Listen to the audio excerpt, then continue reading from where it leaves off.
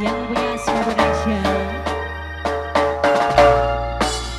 Hai sayangku, hari ini aku cantik, cantik bagai bidadari, bidadari di hatimu.